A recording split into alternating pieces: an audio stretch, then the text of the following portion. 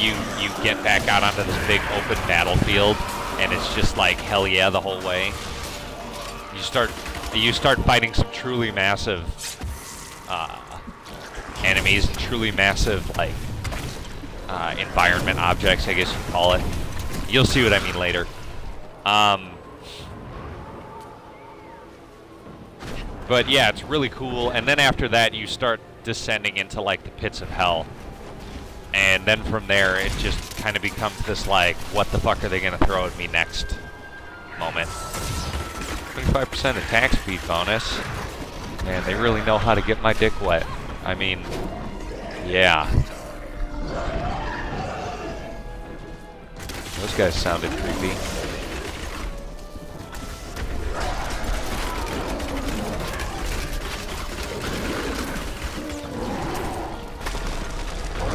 Every now and then I catch like a couple seconds of audio of the uh, the music in this game, and it's like it's the music is probably the most disappointing part of this game because Diablo 2 had one of the best video game soundtracks. I guess for the type of video game it was specifically, but it had one of the best video game soundtracks in terms of setting a tone and setting a feeling, and the music was a much bigger part of the game, obviously, than the music is in this one. But I mean, I guess the music is inoffensive and it's just there, but it's like it feels like so generic, like such generic, like World of Warcraft music at this point. It's like way to bring absolutely nothing new to this game, you guys. Normally, normally the Blizzard. Uh, oh, normally the Blizzard composers are fantastic pinnacles of being able to create, you know, emotional, exciting music for games. But in this case, it's just so not. I feel like they stepped it up for the they stepped it up for the uh, for the expansion for Act Five, but uh, it still just pales in comparison to the original games, the, or the original first two games music.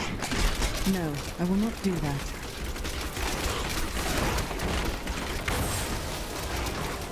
Yeah, take out the boss. Come gotta take him out.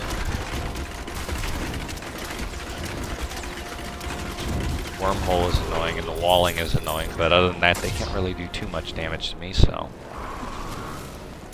Not too worried about fighting them guys.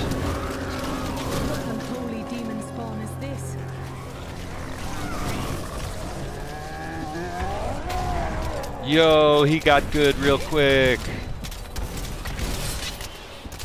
Yeah, you're stuck in place. Sucks to be you. You're dead now. Congratulations on your 13 seconds of life. Actually, probably less, but whatever. You're a welcome sight, hero. Yeah, no shit I'm a welcome sight, because y'all can't do shit.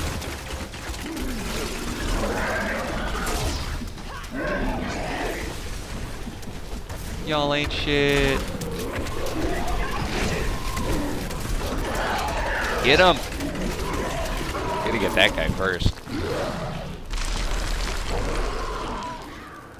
While it is a cool monster design, I think between that and StarCraft 2, Blizzard has uh, kind of gone a little overboard with the whole uh, enemies spawning out of a larger enemy's mouth or some type of worm enemy.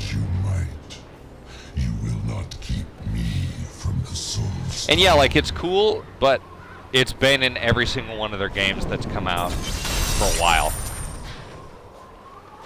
What in the hells was that? An illusion. I wouldn't worry about it.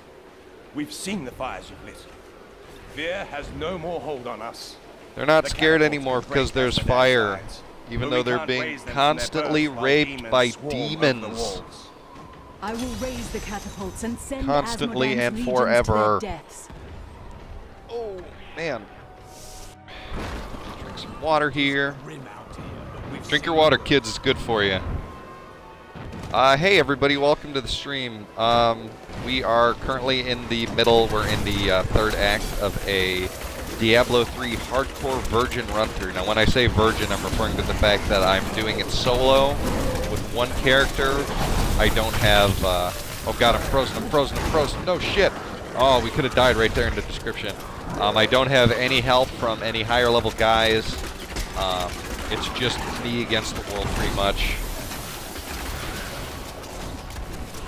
Um, not accepting any help. And uh, for those of you who don't know what hardcore is, hardcore is a uh, specific state you can put your characters in in the game where if they die, they do not respawn.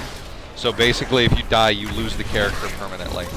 Um, so this character will die on stream at some point, whether it happens now or much later on is uh, completely up to my skill and uh, what type of curveballs the game throws at us. So it's kind of a really cool, exciting way to do a stream. Um, I'm certainly enjoying it, um, and I hope you guys are too. Uh, if you do like what you see, definitely give us a follow. We do uh, streaming 10 times a week minimum. Uh, we stream Monday through Friday, 9.30 a.m. and 9.30 p.m. Pacific Standard Time, which is uh, Cali time for those of you who don't know. Um, we stream all sorts of different games. Last uh, last week we were streaming. Uh, if you need to be told which end of the sword goes where, you uh, haven't last been or paying not last week. Yesterday we were streaming Forza Fight to your Horizon 2. uh, which was a ton of fun. We actually thousand pointed the game on stream, and it led to some really cool moments. Um, I actually made a highlight of it if anybody wants to check it out. But uh, yeah, we do a bunch of fun stuff on here, so hopefully you guys like what you see and decide to stick around and come back for more. Uh, let's see.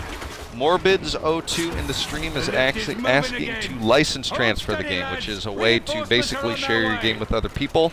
Uh, the problem is you have to share account information, so Hey Morbids, thanks for jumping in the stream and or jumping in the chat and talking to us. Unfortunately, I don't feel comfortable uh, doing license transfers with this game. I've actually had friends I trust ask me, and I still say no to them. So don't take it personal. It's just I don't feel comfortable doing stuff like that. So sorry, but you may not be able to find somebody to do that with you, but it won't be me. Uh, thanks for jumping in and saying hey, though. We do appreciate it. And yeah, this is a great game, so I definitely understand you want to play it. But it is, um, if you own an Xbox One, this game is 50% off right now in the Xbox Online store. Um, it's uh, $30 instead of 60 so if it's a, if it's a price issue and you have an Xbox One now, be, may be the right time for you to pick it up. Um, I would have said the best time to pick it up probably would have been over the holiday season when you could have uh, gotten it for free by purchasing an Xbox One. Uh, that's actually how I got my copy of the Master Chief Collection. Was I just uh, got that as my free game along with the two games that came along with it, which was a great a great holiday deal. The Xbox uh, Microsoft really kind of pulled out all the stops to sell as many as possible by lowering the price to 329 bucks for the console that came with two Assassin's Creed games, and then you got a free game on top of that. That was a really cool. Please Your don't let them find you. Guard the out key. there, Come on. Coward. Ah, she called him a with coward. That's funny. Um, that was a really cool way to get a lot of people to pick up an Xbox. And I feel like this has been the killer app for the Xbox uh, One for the most part, because every single person I know has this game. And uh, granted, it's a great game to have. It's a super fun game, but you know. So we're we just finished with signal fires, and we're actually trying to raise some catapults to help. Man, I really need to step up my game here instead of just concentrating on talking. Uh, we're going to be raising some catapults here to help uh, fighting on the battlefield, I guess. Um, so let's see. Yeah, there we go. It's already our objective. Fantastic. Did we miss one along the way? I don't think so. Our next, or our first one will probably be just up around the corner here, I would think, because we've been we've been running along for a while here. Hey, we got a message from Mozbaz. Uh, let's take a quick look. Ah, shit, I missed it. Also, it's distracting me, and I'm fighting a boss, so that that could be bad. It could be real bad. Um, the Xbox One version of this game compared to PC, I actually think the Xbox and the console versions, the Xbox and PC versions, are the superior product. Um, the game is streamlined for consoles, but not in such a way that it feels like it limits you a lot. Um, characters can't equip certain items, like Demon Hunters, for instance, cannot equip, um, you know, like one or not one-handed weapon, can't equip melee weapons and stuff like that. Um, and the the upgrade mechanics in this game, or the uh, I should say the skill trees are uh, really optimized for controller control. Um, they kind of map like certain skills to certain buttons. So like X is always your defensive buttons and stuff like that. Um, you can you can change that out if you don't like that. And you like being able to mix and match skills a lot by turning on an elective mode in the options which just allows you to assign any skill to any button. So you do have you have a lot of good options for customization in this just like in the PC version. Uh, although some of the uh, item equipping is limited. Uh, the best adaptation I would say for this game uh, versus PC is the control scheme. The way they've um, adapted the control scheme and uh, just some of the like quick buttons and stuff like that that they've adapted uh, for a controller are really they I mean they're they're additions to the game that I feel like you would miss if you were playing this a lot and went back to the uh, PC version. I feel like you would miss that. Um, uh, my favorite feature being the roll feature, which is tied to the uh, the right thumbstick, uh, which gives you a couple invincibility frames and actually gives you a lot more mobility options in combat. Another cool thing is, um, uh, you know, there's no point and click here. It's all, your character movement is tied to an analog stick as opposed to clicking with a mouse, um, which kind of gives you a lot more control over your character's movement, which is a really cool feature and really kind of makes the game feel more personalized instead of just being like this top-down thing that, that you're controlling. It feels like you're actually playing your character as opposed to guiding your character. Um, and yeah, there's a lot of there's a lot of cool features to this. I think it's the superior version. There, there'll probably be people who will argue with me on that, but uh, that's just my opinion on there. Uh, let's see, we're starting to get a bunch of people in the chat here. I want to say hey to uh, IG Martian and De La Page. Hey, nice to have you in the chat. You Hope you're enjoying what you see. the signal fires. Uh, thanks for Help joining us here so in our uh, Diablo 3 Hardcore. Virgin Run stream. Uh, looks like we got a new event here, so we'll be raising the catapult here shortly. Pop that there. Clear those guys out quickly and the then head back over here. Hey, my cat's decided to join us. He's now completely obstructing my view of the screen. God damn it, cat, you son of a bitch.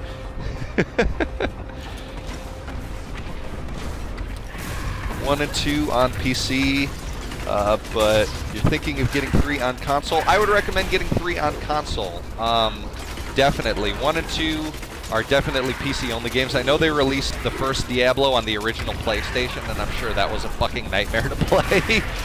um, but those were definitely PC games. I feel like after they adapted this one to console, both the uh, vanilla version and the expansion, I feel like this is the best way to play it. Yeah, you know, one of my favorite things about playing this game on console as well is that I can just lay back on my couch and kind of have it, you know, a chillaxed game with my friends. Whereas um, on the PC, you know, you have to be kind of hunched over a PC, which, you know, some people prefer to play games that way. But I like being able to sit back and relax and not have to. I hate continuing to use the word hunch, but not having to hunch over a screen and you know, sit up and everything like that. Like, I'm playing this game and I'm streaming it, and I'm laying on my couch right now. Uh, let's see, Della Page is asking about, um, asking about if you can play online with friends. Yes, there is a robust online mode. You can play with up to four friends uh, online. There's actually another fantastic feature about this game is the uh, the couch, the local co-op. You can play with up to four friends, I think, on the same couch um, in the same house, and that's actually one of my preferred ways to play the game. Uh, my buddy Exo7 in the chat there, he hasn't said anything in a while. He's probably busy doing dumb bullshit. and the catapult's firing on the battlefield. but uh, he used to live by me. He's actually moved since we last played this game together. But um, we played the vanilla version of Diablo 3 on console, like in my house together, and it was some of the most it was some of the most fun I've had gaming in a very long time. Is just playing a local co-op game of Diablo 3 with my buddies. Um, so yeah, I mean this game is the total package in terms of online co-op. Uh, you still got the competitive like battlegrounds you can play if you're into that. Um, and with the greater rifts and everything that's been added by the expansion, the Paragon points, this game this game can be one game that you pick up and just play like almost exclusively. I mean, you could you could play this game pretty much ad infinitum if you wanted. Man, damn it, I got caught up on barrels there. So